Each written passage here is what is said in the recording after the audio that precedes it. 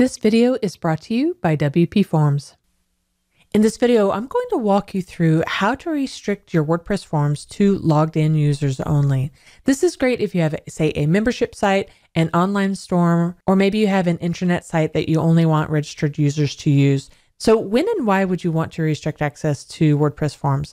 Well, maybe you're setting up a hosting or private members event and you only want people who have access to RSVP to your site. Maybe you want to restrict access to maybe your support area for members only. You could do that there. Or maybe you're doing an intranet site and you only want your employees to submit a survey or a poll. Those are really good reasons to do that. So I'll, show you a few different methods that you can do to get this going.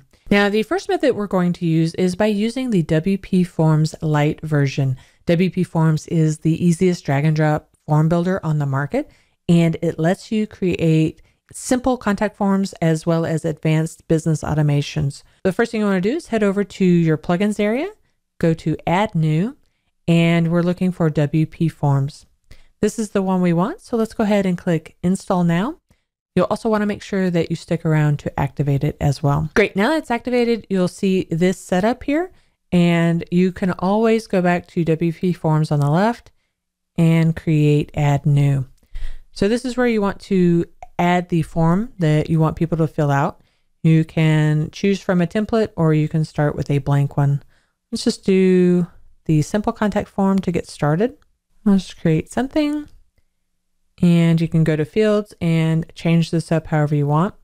Once you set up your form however you want, let's go ahead and click and save. And then we want to embed it on our site and then restrict access. So I'm going to exit out of there and let's go to a post where we can add a new post, give it a title, go to the block area. And from here, we want to find the WP forms. If you don't see WP forms, you can also go up to the search bar and start typing in WP forms and then it will pop up.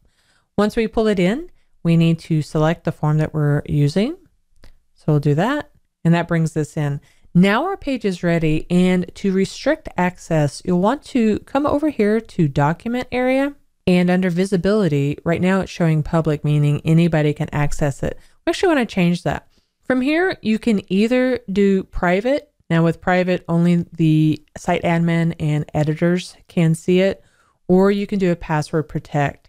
And that way anybody can access it as long as they have the secure password that you have to give them. So there are some functionality of this that will work. It's a little limiting simply because we're using the free version and we're doing a password protect. And then you'll have to give that password out to anybody who you want to have access to this form. So then we can click publish. And then as you view the post, you see that it is password protected. So then they would have to put that in to see it. So you see that there is some limited features of that. But let me show you the next method that takes this up a notch and you don't have to do password protect. It's a great way to showcase some items of the form, but then they won't be able to fill it out unless they have access to it. So in order to do that, you'll want to actually upgrade your WP forms to the paid version. And you can do this quickly and easily. By going to WP forms forward slash WP beginner, you'll get your best discount for WP forms. And once you log into your account, simply grab the license key. We'll head back over to WP Forms and we'll go under settings. And with this, we simply want to go to license key, right click, paste the license key in there and connect. And then WP Forms will go out and connect and install the pro version for us that will unlock many of the pro features. So once we do that, comes back here. And now what we need to do is go to the add-ons area Form Locker add-on is what we want. So let's go ahead and install the add-on. And once we install it, it also activates it for us, which is a great feature. Once we've installed this, let's head back over to all forms and let's edit the form that we were working on. So I'm to click edit. And then under settings, we have a new tab here called Form Locker. And you see you can do enable password protection, for this as well. You can schedule this so that it's only live certain times, which is great if you're had a deadline, say for your employee survey. You can entry limit that so the employees can only do, say, one form entry and enable restricting entries to logged in users only. This is what we want to do. So this is the message that you want to set, set up for anybody who isn't logged in. They will see this. So you want to give them some instructions. And now we can click save. Once we save this, we can go back and we can go back to that post that we just created. And what I'm going to do is I'm going to make this not password protected. I'm going to make it public. And I'm going to update this. And now when people go here, if they're logged in, they'll see the form. But let me log out and show you what they'll see.